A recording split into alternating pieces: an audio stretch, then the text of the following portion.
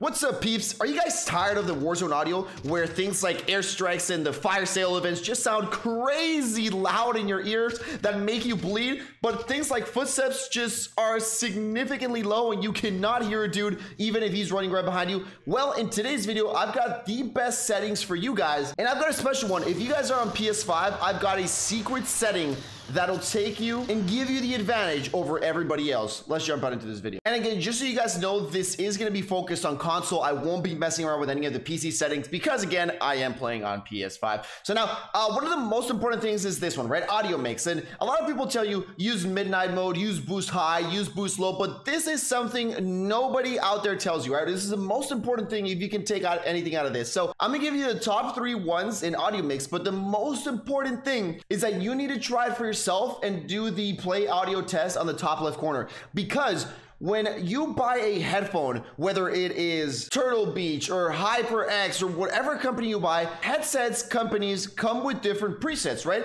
For example, HyperX may come with more boost. Maybe the Turtle Beach come with a little bit higher sounds, right? But every headset is different, right? The magnetic drivers and the way the headset is built is completely different. And because we're not on PC, we can't customize our headset as people on PC could, right? Where you can like lower the boost here, maybe make it a little bit higher here and there. So what we get out of the box when you play on console, that is what you get on your headset. And that is something very, very important to understand. That's why a lot of people are like, yeah, use boost high, that's the best one, or use boost low, it's the best one. Don't don't even use the other one. So it's just very, very important to know that each headphone is completely different. So now I'm gonna tell you the top three ones that you should test, and then based on your testings, this is the ones that are going to work for you. So number one is going to be boost low, obviously. And uh, this is going to make everything sound a lot lower, right? For me, for my HyperX, it just sounds like super muffled. And I, I it, this just really doesn't work that well for me. Again, everything just sounds super muffled, the footsteps. And, and sometimes it feels like I got a yawn, you know, where it feels like when you're in, a, in, in, in an airplane.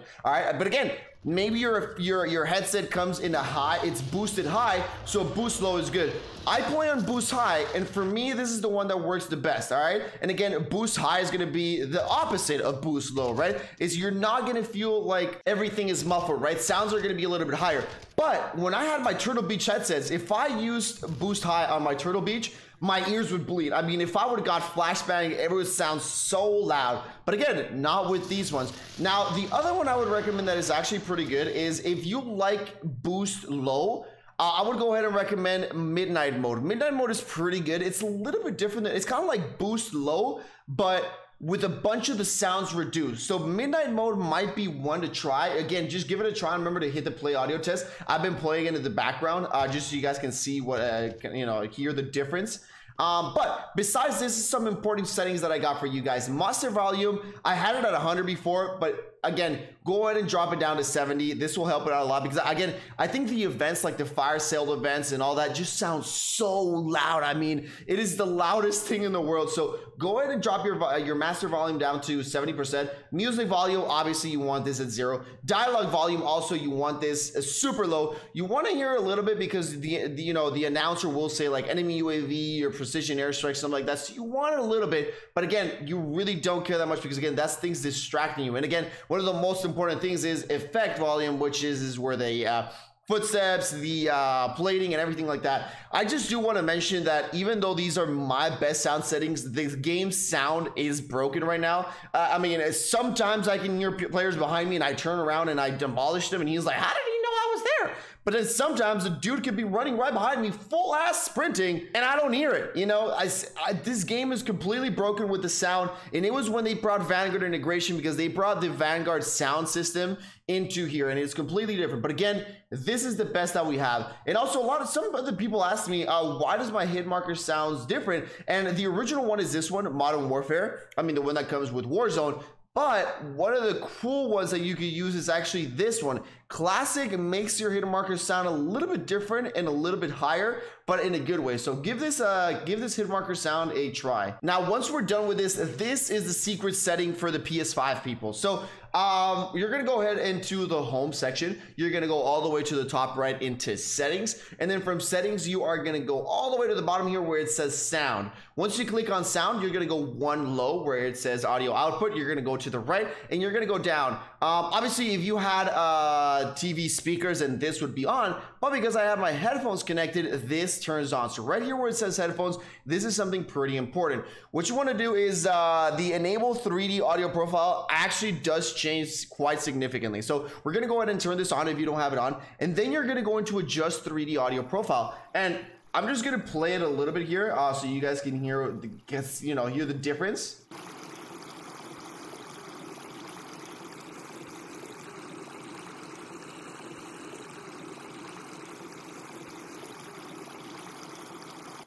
So all of these are supposed to be the same sound, but as you guys can tell, this is like an extra layer. This one, the type 1 higher is basically like boost high, and the type 5 lower is basically like boost low.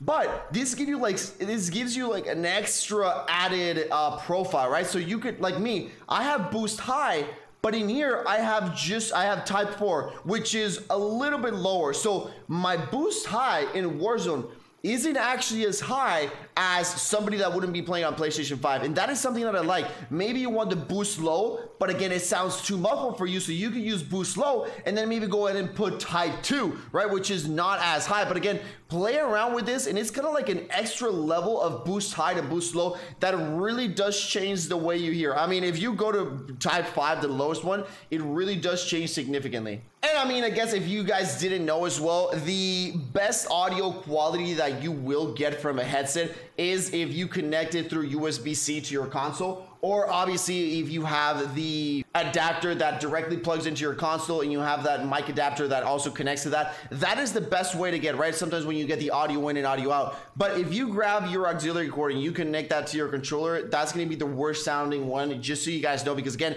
not as much information passes through an auxiliary cord compared to a USB-C so that's also something a little bit different. So that's why also people on PC that connect their headphone through USB-C will have the advantage over somebody that plays on console and connects their auxiliary cord uh, to their controller. But ladies and gentlemen, that is everything I got for you guys. I'm just gonna put up here in the uh, screen right here if you guys wanna copy my settings one more time. Thank you for tuning in. Let me know which one works for you. What is the best audio mix for you?